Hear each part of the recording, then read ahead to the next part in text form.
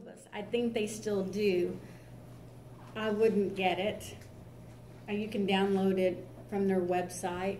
It's very outdated at this point. I think they're working on updating it, which I think would be a, a really good thing. Um, but this is also part of Title um, 17, which is our code and regulations for radiography, fluorography, nuclear medicine. So, some, so I'm just pulling out some of the highlights. So in California, you have to be, you have to have a special license to perform fluorography. I will say it now. You need to take that test as soon as you can after you graduate. So after you take your ARRT exam, you need to take that fluorography exam and get it out of the way. You don't learn more as you get further away Right. from graduation, just so you know. Um, operator exposure uh, to scatters radiation is directly proportional to patient. We've talked about that before. You double the patient exposure, you double the scatter radiation reaching you. So in reality, that's probably not the case, but that's the theory behind everything. Okay, so that's why the number one thing in radiography is to reduce patient exposure because then we're protecting ourselves also. Now, oh, your eyes are glazing over, I know. Okay, AEC rate, automatic exposure control. This is your photo timing rates. 10 R per minute when the AEC is activated. All new equipment, the AEC is standard. It's only on your older equipment. We used to turn it on and off, and now we can't do that anymore. Maybe they make equipment where you can, but none of the newer equipment that I know has that. And five R per minute when off or when the boost mode is used. Okay, now what this means is that the X, the fluoro oh tube, under no circumstances will go higher than ten R when the AEC is activated. And I think that's measured at the tabletop. I, it's at the tabletop. Okay, so the fluoro oh tube is underneath the table. It will not exceed, it is calibrated. So no matter how big the patient is, what's going on, um, the expo, no matter how much you increase the MA, no matter how much you increase the KV, that it will not exceed ten R per minute. Right, you get a big patient on the table, what, hyper, hypersthenic patient, excuse me, hypersthenic patient on the table, just like you were talking about. So what are you gonna have to do? Increase the MA, increase the KV to be able to, to see. And so you can only, no matter if you maxed it out, the exposure rate will not be any greater than ten R. That's calibrated when the machine is put in, okay? And that's pretty much what I'm saying. Um, I, I guess we still have boost.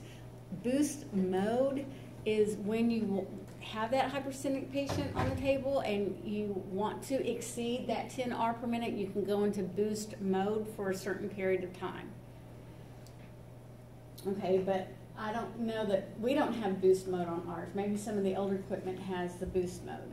All tubes are calibrated to actually operate five R or less. Typical in the state of California, and we'll learn this next semester. We'll just start with this for now, but next semester we're gonna learn, there's typical, um, AEC off, AEC on, boost, surgery. There's different rates depending on what's going on. Um, so it says all II tubes are calibrated to operate at five R per minute or less. When the image degrades over time, the service engineer may increase it to six or seven, but ten is the maximum. No matter how high the MA or KV, the machine will not operate higher than calibrated. AEC is usually not an option to turn off and on, just as I said, it doesn't matter whether it's off or on. The machine is calibrated to whatever, and it cannot go higher regardless of what you do to the MA and the KV. So, my question to you is, when the AEC is on, what is the maximum amount of exposure at the tabletop? And you were gonna say ten R per minute. Okay. They're saying when the AEC, okay, automatic exposure control, so this means that the mach- machine is controlling. If we turn that off, that means it's under manual control, under our control. And California's like, we don't trust you. So, we're gonna make the regulation lower. That's how I look at it. That's how I remember which one's which. California doesn't trust us as licensed operators to know what we're doing. So they trust the machine better. So when the machine is, is controlling the exposure rate, it's higher. And so, like I said, typically, like ours was what? Ours was, um, well, we had MA, but we we will do experiments next semester and we'll find out what our exposure rate is. And it's usually ours was like right at okay, a little over five. So that we were like out of compliance. Uh, MA and KV is visibly indicated, so these are monitored once a week. So anytime that you do fluoro, the KV and MA is should be seen, and you should look at that at least once a week, once a week to make sure it is Okay. Target to panel distance. That's from the X-ray tube or the fluoro tube to the tabletop. That's the panel. Target to panel distance should not be less than 18 and shall not be less than 12. Our fluoro tube is underneath the table. It should be 18 inches from the bottom of the table. Okay, it should be 18. However, it won't be any less than 12 inches. So that's your should and shall on this. California State recommends 18, but no less than 12. Okay. Um, let me see. Okay. Do you see this? This is, a, again, a C-arm. You've seen your C-arms in your department? Do you know what this is? This is the x-ray tube, but this is, does it look like our x-ray tube? Do you see this kind of cone-shaped device there? I don't know what they call it, an offset or cone, C-arm cone. Guess how much that measures? 12 inches. So if you have that on, see with the C-arm, right, this moves up and down. You can bring the C-arm this closer to the patient. So the patient's here. So if the patient's laying on the tabletop and you bring this up to it, it won't go any further. It, it won't be less than 12 because you have this spacer on, this 12 inch spacer. Okay? You, you can move it to where this goes down, it would be more like that, but this keeps it so it will bang up underneath the table when it hits. It can be taken off. So when the JCAHO comes around or the JRC comes around and they see that off, they'll cite you. They'll cite your department. So if that's ever taken up, or when the TJC comes, your administrators will go around and look at all those C arms and make sure that, that those spacers are back on. So that's what it looks like. So that's that's the purpose of those they know if you have that on, then that can never be less than 12 inches. Okay, source to skin distance should not be less than 15 inches for stationary units and should not be less than 12 inches for mobile. So this is um, kind of the same thing, um, but this is to the skin. But again here, not less than 12 inches. Not less than 12.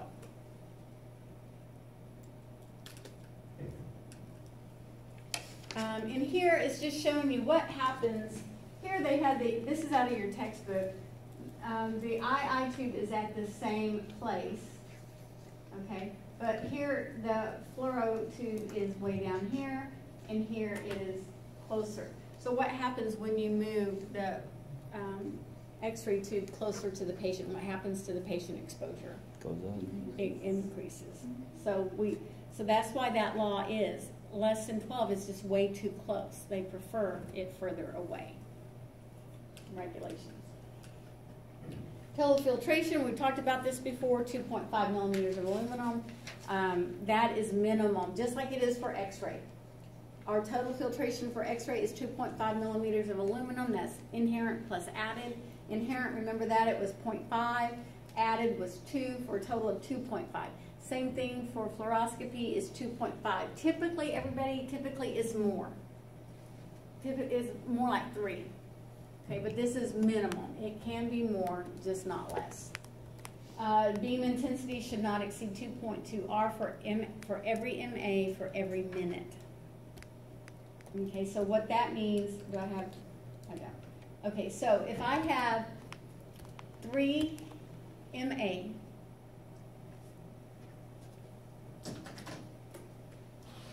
three MA for two minutes. What is um, the intensity?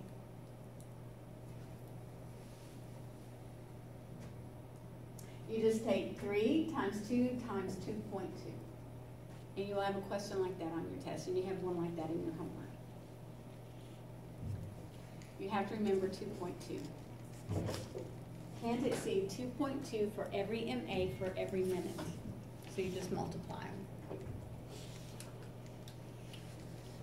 The tabletop cannot attenuate the beam over the equivalence of one millimeter of aluminum. Typically, our tabletops are made of carbon fiber, which is very radiolucent yet strong, and that's what's important. Um, but the tabletop cannot attenuate more than one millimeter of aluminum equivalent. Gonadal shielding, all gonadal shielding, this is the same for x-ray, so this is nothing new, 0.5 millimeters um, lead shielding. This is for gonadal shielding. How, what is the, well, we'll get to that in a second. Um, now, the question will be, and you won't ever use this, what is the best type of gonadal shielding for fluoroscopy? And that will be the shaped contact shielding, shaped contact. Now, that can only be used for male patients. Okay. The other, other than that, it would be contact for fluoroscopy. And I'll show you what that looks like. Bucky slot covers, the lead drapes, lead gloves, thyroid shields, they're all um, 0.25 millimeters of lead equivalent or more. Okay. So gonadal shielding is the only one that's different. Now, if you have a, what do you use for gonadal shielding at your hospital? Have you shielded anybody yet? What do you use?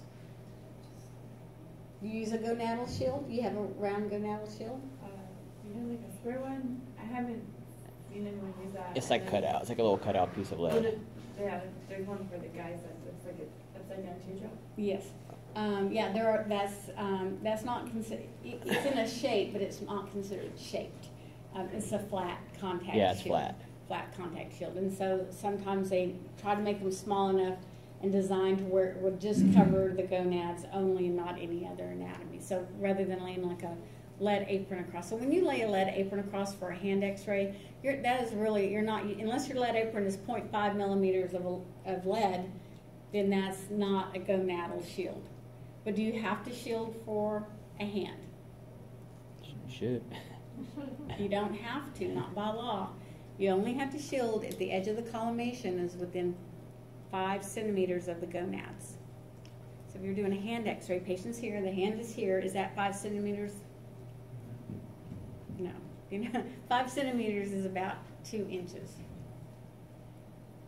Okay, so that, you don't have to shield for a chest x-ray, you don't have to shield for a hand x-ray. You, you only have to shield when the area of interest is near the, the, the collimation is near the gonads. But that's not what we teach you. We teach you to shield everybody. Um, so when you shield everybody, you're using typically maybe a flat, I don't know if it's 0.5 millimeters, it's probably just a piece of lead, which is probably 0.25. Your lead apron's 0.25, and it's okay because you don't have to shield anyway. So it doesn't, but when you are shielding the gonads specifically, because the area of the beam is close by, then you want to use a 0.5. So a lot of times people will use the lead gloves. Do you have lead gloves in your apartment? Because they're double, you know, or, or fold your lead aprons. We're not supposed to fold lead aprons, but double your lead aprons. With, you know, and then, then it turns into gonadal shielding. So, um, and we, we saw that before the Bucky slot cover. Here's your shaped contact. I, I, we have one, I've seen one, I've never used one. Um, but this would be put in um, a male's underwear so that they could turn, you know how upper GIs and Bs, they turn a lot and stuff like that. Then that might could be used for that. Uh, personally, I've never used it. It was awkward. The CI was trying to put the gonadal shield in on the patient, and it just kept like Yeah. together. That's why. That's why a lot of times, and that's a good point. That's a lot of times why we don't shield during fluoroscopy exams. The other time you don't have to shield, the other situation is when it interferes with the exam. So you wouldn't shield if it's going to cover up pertinent anatomy. So if you're doing a, a pelvis, you can't shield. Mm-hmm. Um, or when you're doing fluoroscopy, every time they move, you have to shift the um, shield with them. Now, here's my other question: Where are you putting the shield? Is it on the tabletop or on the patient? Is it underneath the patient? Are they laying on it? Or is it on top of the patient? For fluoro. Well, where's your fluoro tube? Is it underneath the table? Then it, the um, shielding should be on the tabletop underneath the patient. We shield to the primary beam. So if it's on top, we're, we're shield, we're, we're not shielding to the primary beam. Why, why would they set up a room differently with the tube on top as opposed to on one? That is an, an outstanding question, and I'm gonna get to that in just a second. Um, here's a shape con, I mean, I'm sorry, flat contact shield, here's the shape. And so, let me see if it's next. Now, hang on, I'm gonna get there. I'm gonna get there. I have a picture, that's what I wanna show you. Um, absorbed dose, we know that one rad is hundred ergs of one gram of absorbing material. So for every rad, hundred ergs. What is an erg? It's a unit of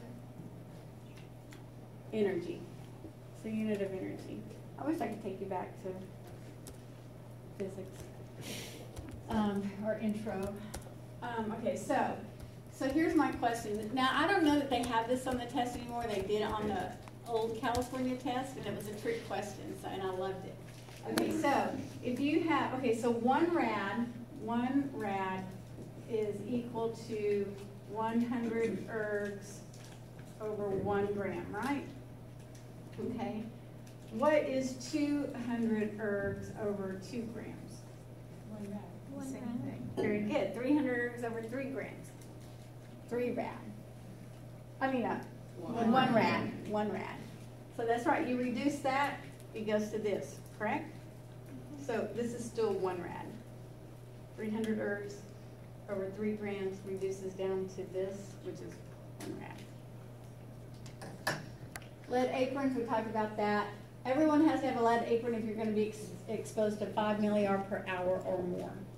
So anybody in a room would certainly be exposed to that. So um, your lead aprons, again, this is minimum amount. Um, our personnel monitoring devices, um, TLDs and OSLs are the two most common. Uh, OSL is um, the more accurate. This is a, a more recent one. the sensitivity is as low as one millirem. So when you get an ND, remember have, you had your look at your reports and you have ND. It means no dose. It's not reading a dose. Your dose is so low, it's less than. I think for um, I don't. Remember for TLDs or OSLs, but that means it's below the threshold. Okay. So an OSL is a little bit more sensitive, one millirem, and um, one accuracy, meaning doesn't mean it's only one percent accurate. That means it's off by one percent. So the accuracy is ninety-nine percent. I guess would be a better way to put it. So um, ninety-nine percent accurate, ninety-five percent accurate.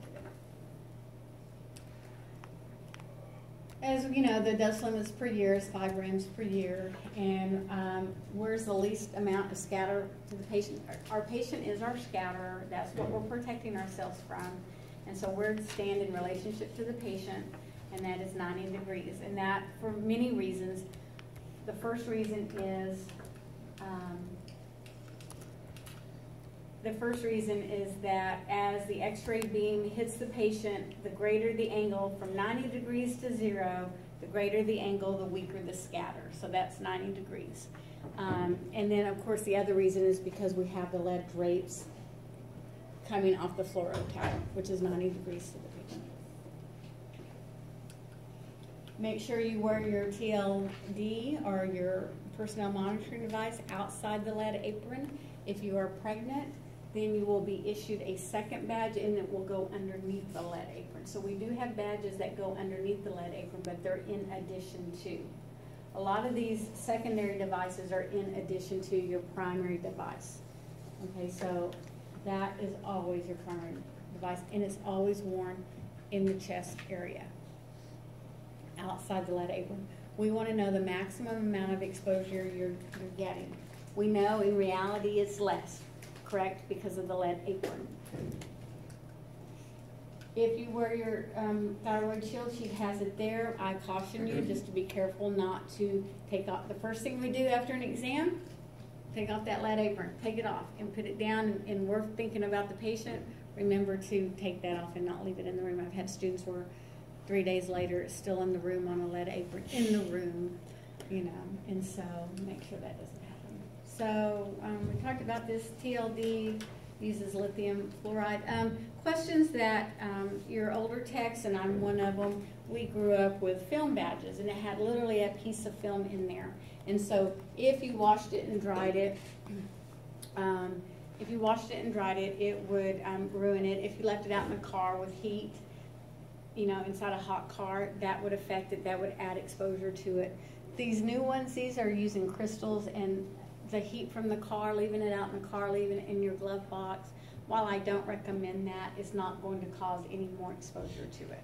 So if you have any of your texts saying, don't leave it out in the car, or you left it in the car, you better go get it. Well, you need it for your department, but that, it does not hold true anymore. Okay? Um, they're not heat sensitive anymore, like the whole film was.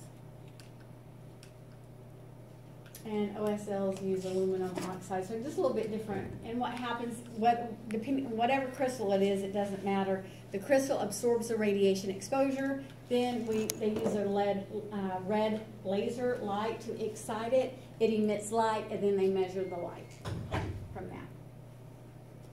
Okay, more radiation exposure, more light. Here's the picture for the scatter radiation. So here's the X-ray tube. Here's your patient. Um, the um, least amount of scatter radiation will be um, 90 degrees to the point source. So where the x-rays enter the patient, 90 degrees from that is the least amount of radiation exposure. Now let me tell you, backscatter, do you think standing over here is the best place to stand? Okay, two reasons why it's not. Um, first of all, um, you look at this radiation coming at, um, I don't know, is that maybe 20 degrees um, so standing here, you're going to get that backscatter. You would think that would be the least amount of exposure, you know, hitting the patient and coming back in the same direction as the source. It can retain up to two-thirds its original energy. Scatter radiation coming directly back to the source can, doesn't always, but can retain up to two-thirds of the original energy. So standing here is not the place to stand. Also, the tube leaks. Every x-ray tube leaks. Don't forget that. So standing behind the x-ray tube is not the place to stand. That's where I would stand during portables, right? X-rays are not heat seeking, correct? X-rays go towards the patient in the bed and then hit the patient. First, uh, chest x-rays, low dose, is that radiation going to get me way over here behind the x-ray tube? No. No, I didn't have to worry about that, but dummy didn't know that the tube leaked. So here I am standing behind the tube. Does it leak a lot? No, it's regulated. But still, so just remember that the X-ray tubes leak. No, the X-ray tube is not your protection. Okay? I'm wearing contacts, I take a thyroid pill, I don't know what else to tell you. I mean, I'm sure the contacts are not because I'm getting older, and I'm sure my thyroid is not because my grandmother and my mother had thyroid problems. Okay, but you never know. Okay, patient holding only in an emergency, and I can't think of really that many emergencies where you would have to, to hold. Um, certainly not routinely. Students are not allowed to hold. You are not allowed to hold. You're the one to make the exposure. And then um, always um, shielding is provided. So we that's why we have positioning sponges and devices and straps and all kinds of Pigg-O-Stats for that reason. So don't get in the habit. Let me tell you, and that's me, that's me too it's easier for me to go hold a patient than it is for me to find the sponge, get the tape out, do all of that. I could have had three other patients done, right? So don't get to be that way. you know, use your positioning devices. Take that extra 10 seconds to use it. So again, um, be aware of that. Okay, ISO, exposure profile. This is um, in your textbook. So look at without the lead apron. And I'm talking about the lead drape right here. Here, now, again, where do they get these numbers on, you know, here it's, at one foot away, it's 500 milliar per hour. I don't know what MA they're using, what kV, what kind of tube, I don't know any of that, but it's 500 milliar per hour at one foot away. Look what the lead drape does, 5 milliar per hour. So, and we knew that we, we did the Geiger counter last week, didn't we? We knew it, it stopped it pretty well. So I want you to know the ISO exposure profile. At one foot is five hundred, at two feet it's one hundred, and at three feet it's fifty. I did the inverse square law on this, and it's like one twenty-five, and this is forty-five. So I Pretty think they just rounded up. Why didn't they keep with the true inverse square law? I don't know. I don't know. But, so, you'd think if you only knew one, you could figure out two and three, right? One fourth, one ninth. But it doesn't work out that way. So we have the lead drape.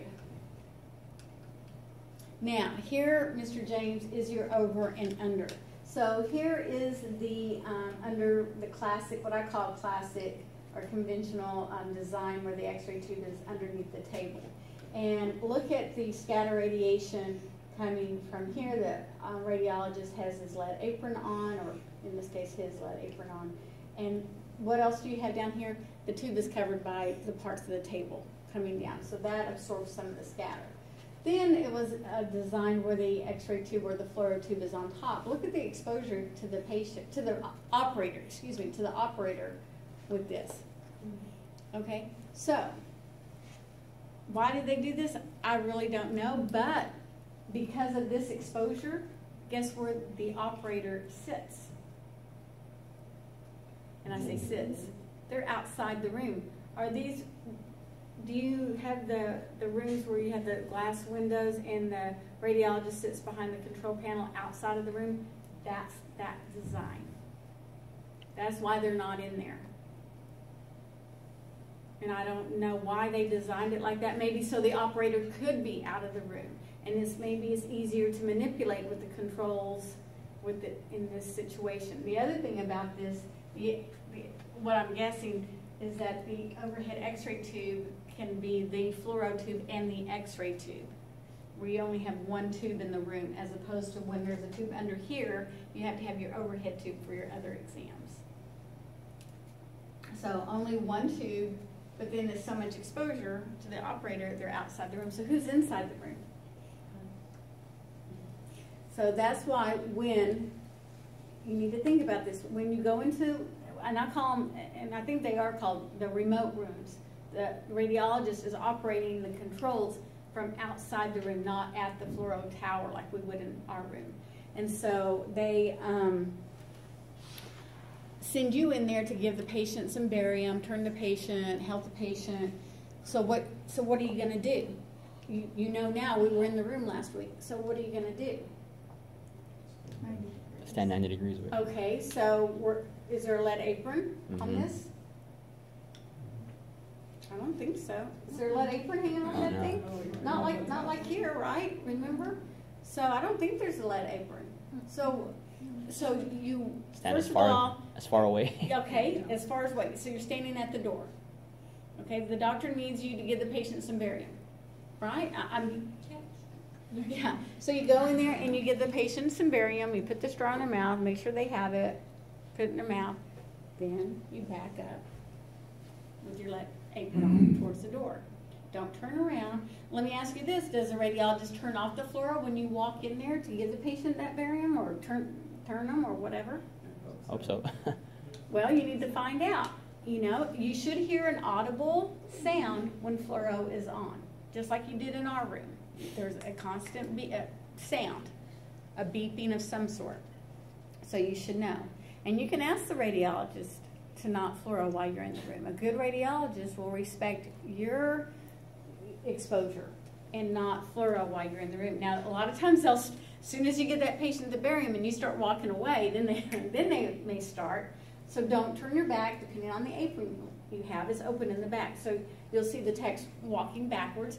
Or if you don't want to walk all the way back to the door, put that lead, portable lead shielding and work from there. That's perfectly okay. So you have your lead shielding on, you have the, the, the door looking thing on wheels, the lead Mhm. shielding. Do something with the patient and then go back to that. It has a window or you can look around it, you know, just any barrier between you and the patient scattering. Yes. I also noticed that they have like this see-through plexiglass, so it's like this, just like this wall. Mhm. the That's what you're talking about, right? They The- stand behind too. Yeah, yeah, it's leaded. It has lead in there, yeah. It's a shield, it's a barrier. Mhm. So as long it as, kind of like reaches around, hands to the cup. perfect, if you can see through that thing, the ones I'm used to are all metal with a window in it. So Oh, the yeah, fact it's that they're all completely glass clear. or whatever Mhm. is wonderful. And so the, pa- you know, and I always feel like the patient, poor patient, they're in there with this gown, we have this lead apron, we're standing behind a barrier, the radiologist is out there, okay, turn over, you know, and it's like, okay, you know, it's kind of intimidating. So I think your very, is your job as a radiographer is very important for patient care procedures when the radiologist is out there and, and we're standing behind stuff. So you really need to bring, you know, out that good patient care part of you when a patient feels very vulnerable like that. So, um, so yeah, so over versus under, so pay attention to that. Here again, this is out of the California syllabus. Um, and what is this saying? So here you have the x-ray tube underneath the table, eight millirad. Here it is above the table, twenty-seven millirad. So like three times, almost three times as much. Now, both can be low. I'm not, both are low exposures, but one is more than the other, and that's because of the design, and that's why the radiologist is out of the room. So when you're working in those rooms, it doesn't mean you can't work in there, just pay more attention to what you're doing. You don't have a radiologist to stand behind, right? So, um, this is pretty much our table, our classic design of what we have. And here's one where it's underneath the table and the x-ray tube is above.